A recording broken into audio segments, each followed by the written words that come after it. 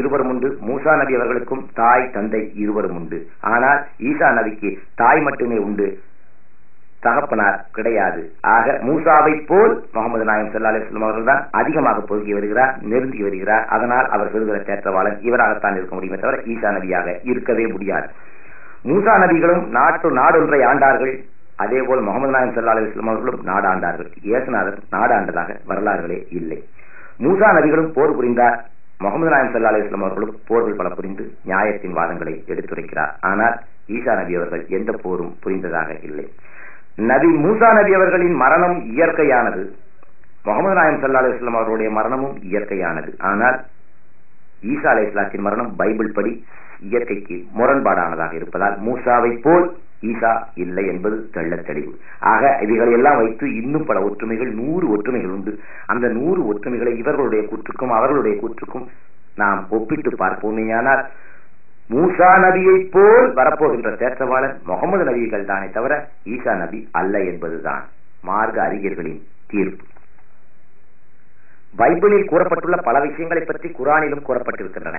நூகு நபி இப்ராஹிம் நபி யூசுப் நபி இலியாஸ் நபி யூனுஸ் நபி யாக்கூப் நபி மூசா நபி இஸ்ரவேலர்களின் அரசர்களும் நபிமார்களுமான தாவூத் நபி சுலைமான் நபி ஆகியோர்கள் குறித்து பைபிளிலும் குறிப்புகள் காணப்படுகின்றன. திருக்குரான் ஷெரீஃபிலும் குறிப்புகள் காணப்படுகின்றன. ஆனால் நிகழ்ச்சிகளை சொல்லும் விதத்தில் வேறுபாடுகள் இருக்கும். அது மட்டுமல்ல மாபெரும் நிகழ்ச்சிகள் பற்றிய இவ்விரு வேத நூல்களும் பிரஸ்தாவிக்கின்றன. பூமியும் வானங்களும் சிருஷ்டிக்கப்பட்ட விதம் நூகு நதி காலத்தில் ஏற்பட்ட பிரளயம் மூசா நதி காலத்தில் நிகழ்ந்த மக்களின் வெளியேற்றம் ஆகியவை இவற்றில் அடங்கும். இறுதியாக ஈசா நதி பற்றியும் அவர்களது அன்னை மரியம் பிபி மரியம் அவர்கள் அலை இஸ்லாம் அவர்களை பற்றியும் புதிய ஏற்பாடு நியூ டெஸ்டமெண்ட் விவரித்திருக்கிறது. குரான் ஷெரீஃபும் அழகான விளக்கங்களை தருகிறது. விஞ்ஞான கண்ணோட்டத்துடன் பைபிளை பார்த்தீர்கள் என்றால் குரானை பார்த்தீர்கள் என்றால் பழைய ஏற்பாட்டிலோ அல்லது சுவிசேஷங்களிலோ விஞ்ஞான ரீதியாக ஒரு குறைபாடுகள் கூட திருக்குரான் ஷெரீஃபில் இடம்பெறவில்லை என்பது தெளிவாக புரியும். ஈசா நபி பற்றி குரானில் மிகவும் கண்ணியமாக குறிப்பிடப்பட்டிருக்கிறது. நபிமார்கள் வரிசையில் மிக உன்னதமான இடத்தை அவர்கள் வைப்பதாக கூறப்பட்டிருக்கிறது. அவர்களை மசையா என்று ஒப்புக்கொள்ளுகிறது அவர்கள் செய்து காட்டிய அற்புதங்களை வர்ணிக்கிறது. இறைவன் அளவில் அவர்கள் உயர்த்தப்பட்டதை ஏற்றுக்கொள்கிறது. அவர்கள் அன்னை மரியம் அவர்களின் கற்பு நெறி தவறாதவர் என்று உறுதியளிக்கிறது. குரான் மூன்றாவது அத்தியாயம் பத்தொன்பதாவது அத்தியாயமும் ஈசா நபியின் குடும்ப வரலாற்றை விரிவாக எடுத்து எம்புகிறது மரியமுடைய மகன் ஈசா என்றே அடைமொழி கொடுக்கப்பட்டு அவர்கள் அழைக்கப்படுகிறார்கள். நூகு நபி இப்ராஹிம் நபி மரியமுடைய தந்தை இம்ரான் ஆகிய வம்சாவளியிலிருந்து வந்தவர்கள் ஈசா நபி என குரான் கூறுகிறது. ஆனால் ஆனால் மேத்யூ லூகா ஆகியோரது சுவிசேஷங்களில் அந்த நபியின் வம்சாவளி வேறு விதமாக கொடுக்கப்பட்டிருப்பதை ஏற்கனவே சுட்டிக்காட்டியிருக்கிறோம். ஈசா நபியின் முன்னோர்கள் என்பது குறித்து சுவிசேஷங்களில் காணப்படும் தவறுகள் ஒன்று கூட குரானில் இருக்க முடியாது. முகமது நாயம் சல்லா அலுவலம் அவர்கள் பைபிளை காப்பியடித்தோ குரானை எழுதினார்கள் என கிறிஸ்துவர்கள் குற்றம் சாட்டினார்கள். பைபிளை அனுசரித்தே குரான் எழுதப்பட்டிருக்குமே ஆனால் ஈசா நபியின் முன்னோர்கள் குறித்து அந்நூலில் காணப்பட்டிருக்கும் அனைத்தும் திருக்குரான் ஷெரீஃபில் இடம்பெற்றிருக்க வேண்டுமே. இது ஏன் நடைபெறவில்லை? விஞ்ஞான ஆராய்ச்சிக்கு முரண்பட்ட பல கூற்றுகள் பழைய ஏற்பாட்டில் மலிந்து கிடக்கின்றன. சுவிசேஷங்களிலும் மலிந்து கிடக்கின்றன. இந்த மாதிரி தவறுகள் ஒன்று கூட திருக்குரான் ஷெரீஃபில் இடம்பெறவில்லையே. காப்பி அடிக்கப்பட்டிருந்தால் அப்படி நிகழ்ந்திருக்காதே. இப்பிரபஞ்சம் எவ்வாறு படைக்கப்பட்டது என்பதை பழைய ஏற்பாடு விவரமாக வர்ணித்திருக்கிறது. அதில் உள்ள குறைபாடுகளை முரண்பாடுகளை அனுபவ சாத்தியமில்லாதவைகளை கற்பனையானவைகளை ஏற்கனவே சுட்டிக்காட்டியிருந்தேன். குரானிலும் சரி இப்பிரபஞ்சம் படைக்கப்பட்ட விதம் பற்றி விளக்கங்கள் இருக்கின்றன. நவீன விஞ்ஞான கண்டுபிடிப்புகளுக்கு அவை எவ்வளவு தூரம் இசைந்ததாக இருக்கின்றன என்பதையும் ஆதாரங்களுடன் விளக்கியிருந்தேன். இஸ்ரேவேலரின் அரசர்கள் பற்றி பைபிளும் கதை கதையாக கூறுகின்றன. திருக்குறானிலும் பிரஸ்தாபங்கள் உள்ளன. அவற்றில் எது சரியானது என்பதை வரலாற்று ஆதாரங்கள் மீதுதான் கணிக்க வேண்டும். ஆனால் அந்த வரலாறுகளோ அதற்கான சான்றுகளோ போதிய அளவு நமக்கு கிடைக்கவில்லை. எனவே அது பற்றிய ஆராய்ச்சியில் இப்பொழுது நாம் ஈடுபட தேவையும் இல்லை அவசியம் இல்லை. ஆனால் இரு பெரும் மாபெரும் நிகழ்ச்சிகள் குறித்து இரு வேத நூல்களுமே வர்ணிக்கின்றன ஒன்று பிரளயம் வெள்ளம். இன்னொன்று வெளியேற்றம் மக்கள் வெளியேறியது ஹிஜ்ரத் எக்ஸாடஸ் பற்றிய அதாகும். பிரளயம் குறித்து பழைய ஏற்பாட்டில் இரண்டு விவரங்கள் காணப்படுகின்றன. கிமு ஒன்பதாம் நூற்றாண்டில் எழுதப்பட்ட யாஹ்விஸ் வாசகம் ஒன்று கிமு ஆறாவது நூற்றாண்டில் எழுதப்பட்ட சாசத்தோடால் வாசகம் மற்றொன்று.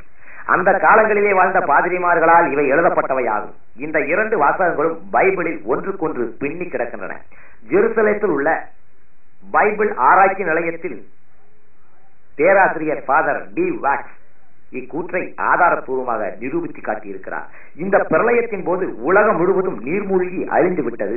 நூகு நபியின் மரக்களத்தில் உள்ளவர்கள் மட்டுமே இப்பூமியில் எஞ்சி நின்றார்கள் என பழைய ஏற்பாடு பறை காட்டுகிறது இந்நிகழ்ச்சி எப்பொழுது நடந்திருக்கலாம் என்பதை அந்நூலில் குறிப்பிட்டுள்ள ஆதாரங்களை வைத்து கணித்து பார்க்கலாம். நூகு நபி அவர்களுக்கு அறுநூறு வயதாக இருக்கும் பொழுது இப்பிரளயம் நடந்திருக்கிறது. ஆதம் நபி உருவாக்கப்பட்டதிலிருந்து ஆயிரத்தி ஐம்பத்தி ஆறு ஆண்டுகள் கழித்து நூகு நபி பிறந்தார்கள். அப்படியானால் ஆதம் நபி பூமியில் இறக்கப்பட்டதிலிருந்து ஆயிரத்தி அறுநூற்று அறுபத்தி ஐந்து ஆண்டுகள் கழித்து இந்த பிரளயம் நடைபெற்றிருக்கிறது. பிரளயம் நடந்து முடிந்து இருநூற்று தொண்ணூத்தி ரெண்டு ஆண்டுகள் கழித்து தான் இப்ராஹிம் நபி அலை இஸ்லாம் அவர்கள் பிறந்திருக்கிறார்கள். அதாவது ஈசா நபி பிறப்பதற்கு ஆயிரத்தி எண்ணூற்று ஐம்பது ஆண்டுகளுக்கு முன்னர் இப்ராஹிம் நபி வாழ்ந்திருக்கிறார்கள். எனவே பிரளயமானது பைபிளின்படி ஈசா நபி பிறப்பதற்கும் இரண்டாயிரத்தி நூறு அல்லது இரண்டாயிரத்தி இருநூறு ஆண்டுகளுக்கு முன்னர் நிகழ்ந்திருக்கிறது என்பதை பைபிள் தெளிவாக சுட்டிக்காட்டுகிறது. இந்த புள்ளி விவரங்கள் அனைத்தும் பழைய ஏற்பாடு ஆதியாகாமத்திலிருந்து எடுக்கப்பட்டவைகளே. இன்றைய ஆராய்ச்சியாளர்கள் பல கேள்விகளை எழுப்புகிறார்கள். ஈசா நபி பிறப்பதற்கு இரண்டாயிரம் ஆண்டுகளுக்கு முன் உலக பிரளயம் நடந்து நூகு நபியின் உள்ளவர்களை தவிர மற்ற எல்லா ஜீவராசிகளுமே பூண்டோடு அழித்துப்பட்டிருந்தால் அந்த இரண்டாயிரம் ஆண்டுகளுக்குள்ளாக மீண்டும் உலக நாகரிகம் உச்சம் பெற்று ஈசா நபி அவதரித்த காலத்தில் உலக நாகரிகமும் கலாச்சாரமும் அன்றிருந்த அளவு வளர்ந்திருக்க முடியுமா? இது ஒரு நியாயமான சந்தேகமே. ஈசா நபி காலத்தில் எகிப்திலும் மெசபடோமியா பகுதியிலும் ஐயாயிரம் பத்தாயிரம் ஆண்டுகளுக்கு முன்னுள்ள நாகரிகங்கள் அமுலில் இருந்து வந்தன என வரலாற்று சான்றிதழ்களால் அறிய முடியும். மேலும் ஹாரப்பா மொகஞ்சாதாராக்கள் சுமார் பத்தாயிரம் ஆண்டுகளுக்கு முந்தியவை என்பது செள்ளத் தெளிவு சிந்து நதியின் நாகரிக வரலாறை படித்தால் புரியும். அழிக்க முடியாத நினைவு சின்னங்கள் பல இன்றும் இந்த உண்மையை நிலைநாட்டிக் கொண்டிருக்கின்றன. பிரளயம் பற்றி திருக்குறான் பொதுப்படவையாகவே கூறியிருக்கிறது. அக்கிரமம் செய்யும் மக்கள் கூட்டத்தை தண்டிப்பதற்காக பல வழிகளில் இதுவும் ஒன்று என நூகு நபி காலத்தில் வாழ்ந்த மக்கள் கூட்டத்திற்கு இத்தண்டனை வழங்கப்பட்டது. ஆனால் குரான் ஷரீப் அத்தியாயம் பதினொன்றில் வசனங்கள் இருபத்தைந்து முதல் நாற்பத்தி ஒன்பது வரை நூகு நபியின் போதனைகளை எடுத்து எம்புகிறது. அத்தியாயம் எழுபத்தி ஒன்னுக்கு அந்நபியின் பெயரே சூட்டப்பட்டிருக்கும். அதிலும் அவர்களது போதனைகள் விளக்கப்பட்டிருக்கின்றன. அத்தியாயம் இருபத்தி ஆறு வசனங்கள் நூத்தி அஞ்சு முதல் நூத்தி பதினஞ்சு வரையிலும் உள்ளவையற்று அவர் அவர்களுடைய நடவடிக்கைகள் எடுத்துச் செல்லப்பட்டிருக்கின்றன. வரம்பு மீறி நடக்கும் அல்லது அட்டூழியம் செய்யும் மக்கள் கூட்டத்தை எப்படியெல்லாம் இறைவன் தண்டிக்கிறான் என்பதை அத்தியாயம் இருபத்தி அஞ்சில் வசனம் முப்பத்தி ஐந்து முதல் முப்பத்தி ஒன்பது வரை விளக்கியுள்ளன. நிச்சயமாக நாம் மூசாவுக்கு தௌராஜ் என்னும் ஒரு வேதத்தை கொடுத்திருந்தோம். அவருடைய சகோதரர் ஹாரூனை அவருக்கு மந்திரியாகவும் ஆக்கினோம். அவ்விருவரையும் நோக்கி நீங்கள் இருவரும் நம்முடைய அத்தாட்சிகளை பொய்யாக்கியவர்களிடம் எடுத்துச் செல்லுங்கள் என கூறினோம். அவ்வாறு அவர்கள் சென்றதன் பின்னரும் அவர்கள் நிராகரித்து விட்டதனால் நாம் அவர்களை அடியோடு அழித்து விட்டோம்.